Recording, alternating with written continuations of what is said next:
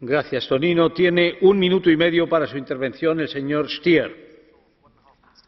Gospodine predsjedniče, dok su sve ostale zemlje jugoistočne Europe već stekle status kandidata ili se kreću u tom smjeru, Bosna i Hercegovina nažalost stagnira. I glavni razlog te stagnacije je politička borba koja se vodi između separatističkih i centralističkih snaga koje se međusobno potenciraju i guraju zemlju sve dalje od Europe. Separatizam i centralizam su glavni kočničari europske budućnosti Bosne i Hercegovine u bosni i hercegovini još su prisutne one snage koje stalno prijete teritorijalnoj cjelovitosti zemlje i zato ova rezolucija šalje vrlo jasnu poruku da europska unija neće dozvoliti raspad bih.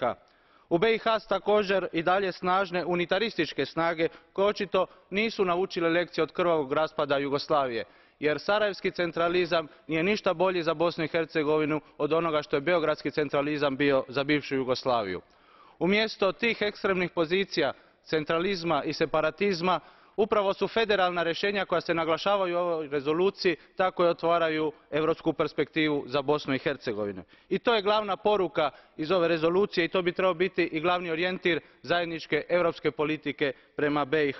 zato čestitam izvjestiteljici doris pack cijenim napore koje čini povjerenik File u ime komisije sada je vrijeme isto tako da vijeće se angažira više i države članice da pokažu vodstvo europske unije kao snagu za mir u bosni i hercegovini u jugoistočnoj europi. Gracias, colega. Tiene un minuto para su intervención el amigo Tune Kelam. Gracias. The Balkan countries have become most prospective region for further EU enlargement we should do our utmost to support and speed up this